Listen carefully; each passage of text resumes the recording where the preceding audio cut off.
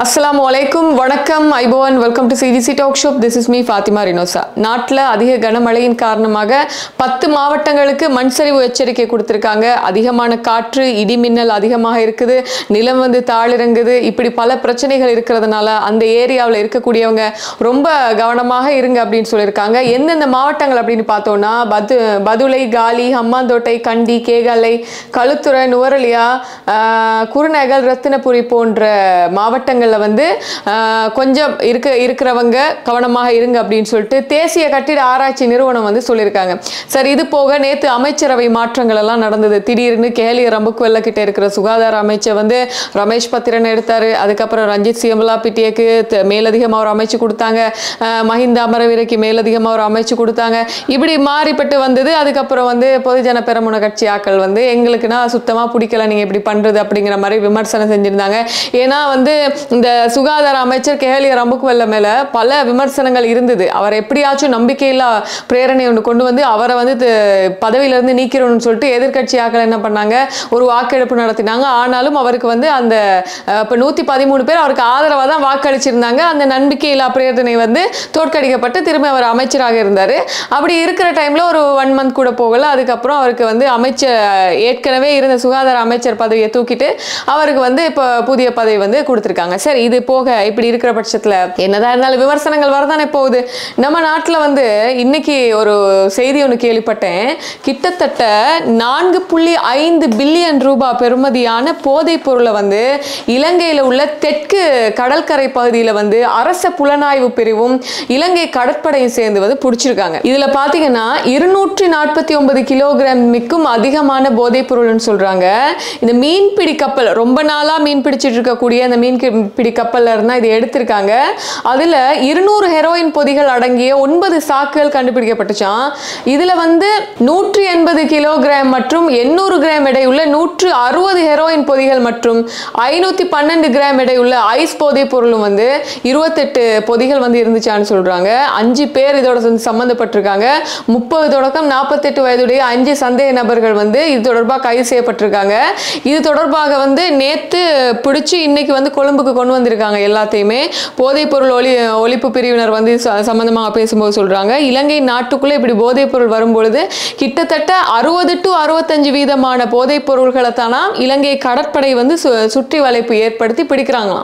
மற்றது எல்லாமே வந்து நாடு கடந்து போகுதான் அப்படிங்கிற ஒரு விஷயம். இப்போ நான்கு புள்ளி ஐந்து பில்லியன் ரூபாய் பெறுமதியான இவ்வளவு போதைப் பொருள்களுக்கும் வந்து யார் இதை கொண்டு வர்றாங்க? இதை இங்கே கொண்டு வந்து எங்கேயாச்சும் அது வந்து டிஸ்ட்ரிபியூட் பண்ணுறதுக்கு கொண்டு வராங்களா? இல்லைன்னா இலங்கைக்குள்ளே யூஸ் பண்ணுறதுக்கு இதை கொண்டு வராங்களா? ஐ இருந்து குஷ்ல இருந்து ஹெரோயின்ல இருந்து இப்படி எக்கச்சக்கமான பெயர்களை கொண்ட பிராண்டுகளை கொண்ட போதைப் பொருள்கள் தான் அந்த கடல் வழியாக வந்து இலங்கைக்கு வந்து வந்துட்டு இருக்கு இதுல ரொம்ப ஆச்சரியம் அண்ட் ரொம்ப கவலைக்குரிய விஷயம் என்னன்னா இது பிடிபட்டதனால போலீசார் கைக்கு போயிருச்சு. இதுவே இந்த போதைப் பொருட்கள் நம்ம நாட்டுக்குள்ள வந்திருந்தா இதுல மிக முக்கியமாக பாதிப்படைய போறவங்க எல்லாமே வந்து இளைஞர்கள் மாத்திரம்தான். பாடசாலை ஸ்டூடெண்ட்ஸுக்கு இப்போ கூட டொஃபில லாலிபாப்ல சாக்லேட்ல கூட போதைப் பொருட்கள் வந்து வந்துட்டு இருக்கு ஸோ போதைப் பொருட்களை வந்து நம்ம போதைப் பொருளாகவே எடுத்து யூஸ் பண்ணுறோம் அப்படிங்கிற வழியை தாண்டி எப்படி வேணாலும் யூஸ் பண்ணிட்டு போகலாம் அப்படிங்கிற மாதிரி ஐஸ்கிரீமில் கூட போதைப் பொருள் இருக்கு. ஜெலியில் கூட இந்த மாஸ்மலோஸில் கூட போதைப் பொருட்களை வந்து தடவி தராங்க அப்படிங்கிற மாதிரி போயிடுச்சு அதனால இந்த நான்கு புள்ளி ஐந்து பில்லியன் பெறுமதியான இந்த போதைப் பொருள்கள் கிட்டத்தட்ட நமக்கு தெரியாது. பிடிச்சது இவ்வளோ தான் பிடிக்காத எவ்வளவு விஷயங்கள் இருக்கு. எப்படியெல்லாம் போதைப் பொருள்கள் நம்மளுடைய சமுதாயத்தை வந்து தாக்கிட்டு இருக்கு அப்படின்னு நினைக்கும் பொழுது ரொம்ப பயங்கரமான ஒரு விஷயமாக இருக்கு. அதோட இன்னொரு மிக முக்கியமான விஷயத்தை பத்தி கடந்த வெள்ளிக்கிழமை வந்து பாராளுமன்றத்தில் உள்ள நூலக பகுதியில் ஏற்பட்ட ஒரு பரபரப்பான சம்பவம். டயானா கமகே அவர்களை வந்து எதிர்க்கட்சியில் உள்ள நாடாளுமன்ற உறுப்பினர் சுஜித் சஞ்சய் பெரேரா வந்து தாக்கிட்டார் அப்படின்னு சொல்லிட்டு அவங்க கம்ப்ளைண்ட் பண்ணியிருக்காங்க இது தொடர்பாக விசாரிக்க சொல்லியிருக்காங்க ஸோ மஹிந்த யாப்பா அபேவர்தன விசேட குழு ஒன்றை வந்து இதுக்கு இந்த விசாரணைக்காக நியமிச்சிருக்காராம். பிரதி சபாநாயகர் அஜித் ராஜபக்ஷ தலைமையில் முன்னாள் சபாநாயகர் சமல் ராஜபக்ஷ அமைச்சர் ரமேஷ் பத்திரன மற்றும் நாடாளுமன்ற உறுப்பினர்களான இம்தியாஸ் பாக்கிர் மாக்கார் கயந்த கருணா திலக உள்ளிட்ட உள்ளிட்டவர்களை இந்த குழு வந்து உள்ளடக்கியிருக்கான் இவங்களுடைய விசாரணை வந்து வர்ற புதன்கிழமை முற்பகல் பதினோரு மணிக்கு நாடாளுமன்ற வளாகத்தில் வந்து நடக்க இருக்கான் அப்படிங்கிற ஒரு இது போயிட்டு இருக்கு சரி இப்போ இது இப்படி இருக்கு. இப்போ இவங்களை தாக்கிட்டாங்க அப்படிங்கிற ஒரு பிரச்சனை தானே போயிட்டு இருக்கு இப்போ இவங்களை தாக்கினதன் சம்பந்தமாக ஆக்டிவிஸ்ட் சமீர பெரேரா அவர்கள் வந்து ஒரு விஷயம் வந்து இன்னைக்கு வந்து பிரஸ்ல பேசியிருக்காரு. சமீர பெரேரா பேசினது மாத்திரமில்லை டயானா கமகையும் பேசியிருக்காங்க நேத்து. ஹிருணிகா பிரேமச்சந்திரன் இது சம்பந்தமாக பேசியிருக்காங்க. சரி சரி சமீர பெரேரா என்ன சொல்லியிருக்காருன்னு பார்க்கலாம். இவங்க ட்ரௌசரை கலட்டுவேன்னு சொல்லி சொன்னாங்க இல்லையா? யார சக்தியோட யார ஒரு சப்போர்ட்டட் அவங்க சொல்லியிருக்காங்கன்னா இந்த குடு பிஸ்னஸ் பண்றவங்க இந்த போதைப் பொருள் பிஸ்னஸ் பண்றவங்களுடைய அந்த சப்போர்ட்டோட அந்த சக்தியோட அவங்க இருக்காங்கன்ற ஒரு தைரியத்தோட தான் இவங்க வந்து இப்படி பேசியிருக்காங்க. இல்லைன்னா ஒரு பொம்பளை போய் ஒரு ஒரு மினிஸ்டர் அதாவது ஒரு பாராளுமன்ற உறுப்பினரை பார்த்து உன்னோட ட்ரௌசரை கலட்டுவேன்னு சொல்றதுக்கு எங்கேருந்து தைரியம் வரும்? சாதாரண பொம்பளைங்க எல்லாம் அப்படி பேச மாட்டாங்க. அப்படிங்கிற மாதிரி சொன்னது மட்டும் இல்லாமல் இந்த பாராளுமன்ற பாராளுமன்றத்துல முழுக்க முழுக்க இருக்கிறது கூட இந்த கஞ்சாக்கார கஞ்சா பிசினஸ் பண்றவங்க குடு பிசினஸ் பண்றவங்கன்ற மாதிரி தான் அவர் சொல்லியிருந்தாரு එයා කලිසම ගලවනවා කියලා කිවේ නිකන් නෙමේ කලිසම ගලවන්නේ කාගේ හයියෙන්ද. අර ඩ්‍රක්කාටල් එකේ හයිය. අර මද්‍රව්‍ය ජාවාරම් කාරයන්ගේ හයිය පෙන්නුවයා මේ තාම ගංජහරියට නීතිගත කරලා වවන්න කල වවන්න කලින් මේක මෙක්සිකෝවල වෙලා තියෙන දමු දකුණු ඇමරිකානු රටවල මේක තියෙනවා එක්කදෝර්වැනි රටවල තියෙනවා කොළොම්බියා වගේ රටවල තියෙනවා මෙක්සිකෝවේ තියෙනවා. ඒ ඩ්‍රක් කාටල් එක එක දාන ඒජන්ට්ලා ඉන්නවා පාලිමේන්තු ඒගොල්ලෝ වැඩ කරන්න එහෙම මාෆියා ගැන්ස්ටර්ලා වගේ වැඩ චන්ඩි වගේ වැඩ කර අන්න ඒක තමයි ඔය පෙන්නුවේ ගලවනක් කලිසම ஆயிரத்தி தொள்ளாயிரத்தி எழுபது காலப்பகுதியில் ஜேஆர் ஜெயவர்தன காலப்பகுதியில் இந்த நாட்டில் எப்படி சரி சல்லி உழைக்கணும் காசு உழைக்கணும்னா நாயை கொண்டு சரி காசு உழைக்கலாம் அப்படின்னு சொன்ன நாடு கஞ்சா வந்து அஹ், வளர்த்து கஞ்சா மூலமாக பிஸ்னஸ் பண்ணி கஞ்சா மூலமாக வருமானம் ஈட்டுறதை பற்றி பேசுறது வந்து இங்கே பெரிய விஷயமே இல்லை அப்போவே அவர் ஸ்டார்ட் பண்ணிட்டார் அப்படின்னும் මේක නිකම්ම නිකං පුද්ගලයක්ගේ ප්‍රශ්නයකුත් නෙමෙයි. මේක තමයි ලංකාවේ විකෘති දේශපාලන. එකදස් නම්සේ හැත්තදේ බල්ලො මරල හරි සල්ලි හම්බු කරහන් කියලා ජයාර් ජයවර්ධන කියලා හදපු රට.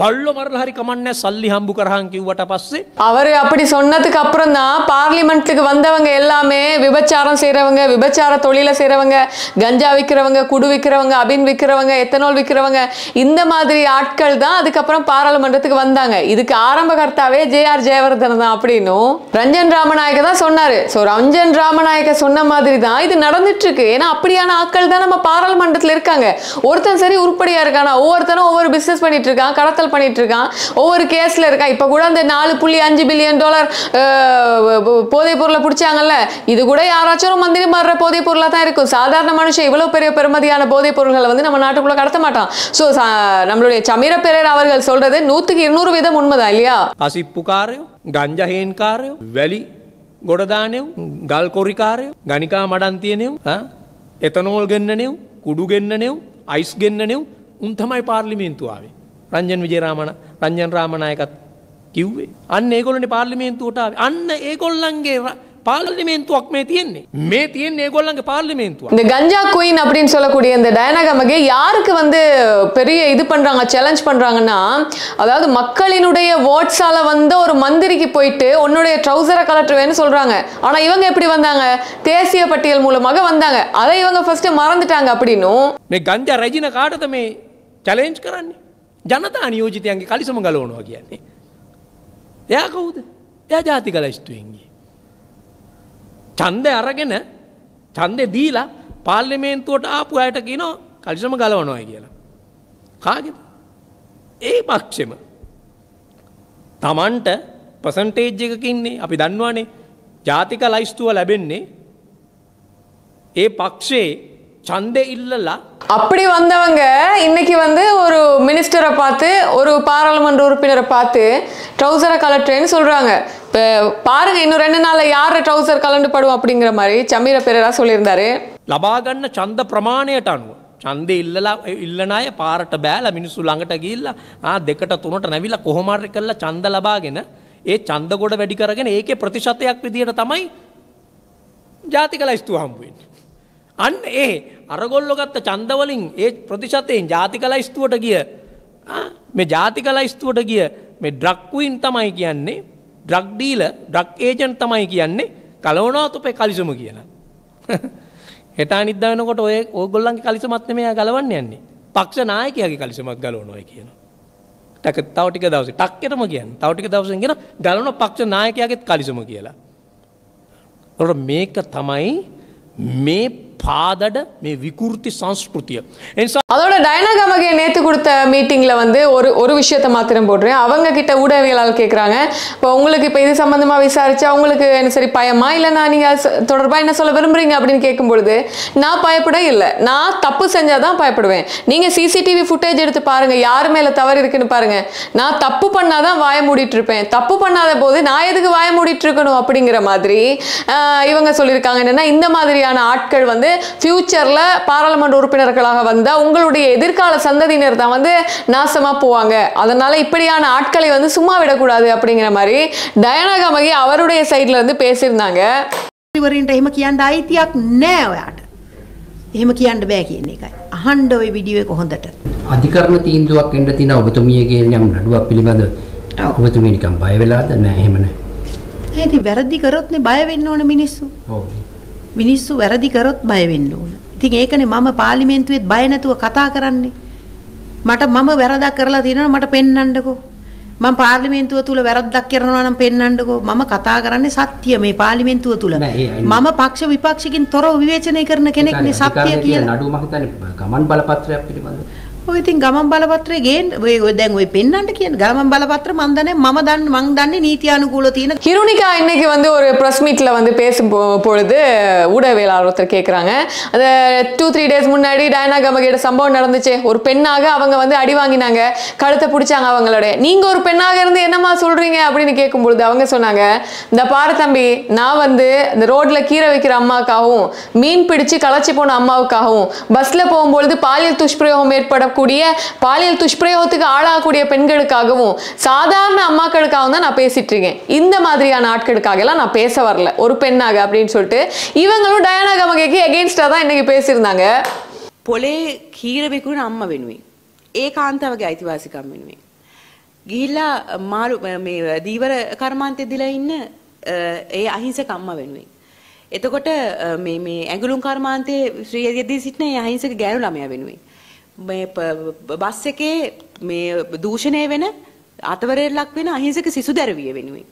හඬක් නැති කාන්තාවන් වෙනුවෙන් මම පෙනී ඉන්නවා. හැබැයි මේ බොරුවට කාන්තා අයිතිවාසිකම් ඉස්සරහට දාගෙන තමුන්ගේ පෞද්ගලික ප්‍රශ්න විසඳගන්න යන මෙවැනි മന്ത്രിවරියන් වෙන මම මේ පෙනී ඉන්නේ. මොකද එතන පෙනී ඉන්න බෑ. சுஜித் சஞ்சீவ பெரேரா வீட்டுக்கு போறதுக்காக அவர் வந்து படியில இருந்து இறங்கி வந்திருக்காரு இந்த அம்மா என்ன பண்ணுச்சுன்னா அந்த அவரை விடாம பேசினதுனால அவரும் ஏதோ ஒரு வாக்குவாதப்பட்டு ஏற்கனவே அவங்க ரோஹன பண்டார கூட தான் வாக்குவாதம் பண்ணிட்டு இருந்தாங்க இந்த மனுஷன் விலக்கி வைக்க வந்த மனுஷனை பிடிச்சி கத்தினதுனால தான் இவர் கை வைக்க வேண்டிய நிலைமை ஏற்பட்டுச்சு இப்போ நாங்களும் தான் பாராளுமன்றத்தில் இருந்தோம் ஏதாச்சும் ஒரு பிரச்சனைனா அந்த சேம்பருக்குள்ளே நாங்கள் முடிச்சிட்டு நாங்கள் வெளியே வந்துடுவோம் இப்படி வெளியே வந்து அடிபிடிப்பட்டு தேவையில்லாத வார்த்தைகளை வந்து யூஸ் பண்ணி பெண்களை வந்து தாக்கிட்டாங்கன்னு அவங்க சொல்கிறாங்க அவங்க பெண்களை ஒன்றும் பெண்களை தாக்கின மாதிரி அவங்க நடந்துக்கல. பெண்களுக்கே கெட்ட பேர் ஏற்படுத்தி விட்டுருக்காங்க. இப்போ நான் கூட அறகலையில் வந்து மஹிந்தக்கு எதிராக ரணிலுக்கு எதிராகலாம் இறங்கி வந்து போராடினேன். ஆனால் சில நேரங்களில் எப்படி பேசணும்னு நமக்கு தெரிஞ்சிருக்கணும். ஆனால் இப்போ இவங்க சொன்னாங்க இல்லையா ஒரு ஒரு மினிஸ்டரை பார்த்து உங்களுடைய ட்ரௌசரை நான் கலட்டுவேன்னு சொன்னாங்க இல்லையா? இதே திருப்பிட்டு அந்த மினிஸ்டர் உன்னுடைய ட்ரெஸ்ஸை வந்து கலட்டுவேன் அப்படின்னு சொன்னால் இவங்களுடைய முகத்தை கொண்டு போய் எங்க வச்சுக்குவாங்க ஏ, அப்படிங்கிற மாதிரி இன்னைக்கு ஹிருனிகா வந்து பேசினது கொஞ்சம் நல்லா இருந்துச்சு கேளுங்களேன் ஒரு மூணு நிமிஷம் பேசியிருக்காங்க பாயிண்டா பேசியிருக்காங்க කෙනයි පිරිමි කෙනයි ගහගෙන මරාගෙන මොකක් හරි වෙලා ඒ ප්‍රශ්නේ විසඳෙනවා. එහෙම නැත්නම් විසඳෙන්නේ නැහැ. මෙතන ප්‍රශ්නේ තියෙන්නේ මෙතන මේ පිටස්තර ගැහණු කෙනෙක්. මේ ස්වාමි පුරුෂයා පිටින් දයිත් නෙවෙයිනේ. එතකොට කිසිම හේතුවක් නැතුව මේ අ, කවුද සුජිත් පෙරේරා මැතිතුමා නිකන් මේ මේ- මේ ගෙදර යන්න පහලට බහැලා මේ ලයිබ්‍රරි එකට යන්න ලිෆ්ට් එකෙන් පහලට බහැලා යනකොට මෙතන රණ්ඩුවක් වෙනවා. ඊට පස්සේ ගිහිල්ලා මන්ත්‍රීතුමිය රණ්ඩු වෙන්න එපා කියන එක කියන්න ගිහිල්ලා තමයි අනවශ්‍ය වචන කියාගෙන දැන් එතුමිය කියනවා කාන්තා අයිතිවාසිකම් කාන්තාවව මේ තත්ත්වයට පත් කරා කියලා. එතනදී අය කියන වචන වලින් ඇය LGBT කමියුනිටි එකේ ආ සංක්‍රාන්තික ලිංගිකයන්ට සමලිංගිකයන්ට අපහාසයක් කරනවා. ඒතර ඒව ගැන කවුද කතා කරන්නේ? එයා එයාගේ ක්‍රියාවෙන් එයා අනික් පැත්තෙන් එයාගේ අයිතිවාසිකම් ගැන කතා කරන ගමන් එයා ගොඩක් අයගේ අයිතිවාසිකම් කඩ කරලා තිනවා. ඒතර එයා කියනවා කලිසම ගලවන්න කියලා. දැන් ඔය කතාවම ගෑන් පිරිමි කෙනෙක් කිව්වොත් එම මම උඹේ සාරිය ගලවනවා කියලා. එතකොට එතන ඒ වචනවල ප්‍රශ්නයක් වෙන්නේ නැද්ද? ඇයි ඇයි කියනවා පිරිමියට එයා කලිසම ගලවනවා කියලා. ඒතර එතන පිරිමි කෙනාගේවත් වාචිකව ඇය පිරිමි කෙනාවත් හිංසනයට ලක් කරලා තියෙනවා. ඔය කාරණා වගේම අනික් අතට ඇය අ, මම දැක්ක ඊයේ ප්‍රෙස් එකක් තියෙනවා ප්‍රෙස් එකේ කියනවා හරි අපූර්ව කතාවක් අ, කාන්තාව ඉන්න මේ රෙදි හොදන්න ගොඩක් පිරිමිත් අයනේ කාන්තාව ඉන්නේ රෙදි හොදන්න කෑම උයන්න ඒ වගේ තත්වයකට දාන්න කියලා ඒ කියලා ඒ වාක්‍ය වල අනික් වාක්‍ය කියනවා සජිත් ප්‍රේමදාස සමගින් වයිෆ් පාලනය කරගන්න බෑ කියලා. ඒ කියන්නේ එයා කියන කියනවා එක පැත්තකින් කාන්තාව එහෙම පාලනය වෙන්න ඕනේ නැහැ. කාන්තාව අද මේ වගේ තැනක ඉන්නේ කියලා. ඒ අනිත් පැත්තෙන් එයා කියනවා සජිත් ප්‍රේමදාසට කාන්තාව තමුන්ගේ වයිෆ පාලනය කරගන්න බෑ කියලා. මේ മന്ത്രിතුමිය දැනගන්න මේ පාර්ලිමේන්තුව ඇතුලේ ගොඩක් කාන්තාවන්ට නොයෙකුත් විදිහේ වාචික ප්‍රශ්න ආවා. ඒවා චේම්බරය ඇතුලේ චේම්බරය ඇතුලේම විසඳගෙන එළියට ආවා. කවදාවත් ශාරීරික වේ ප්‍රශ්න විසඳගන්න ගියේ නැහැ. ෆිසිකල් ෆයිට්ස් වලට කවුරුත් ගියේ නැහැ. ඇයම තමයි ගිහිල්ලා එළියට ගිහිල්ලා රෝහණ බණ්ඩාර ගැන තවත් කෙනෙක් එක්ක බැන බැන ඉන්නේ.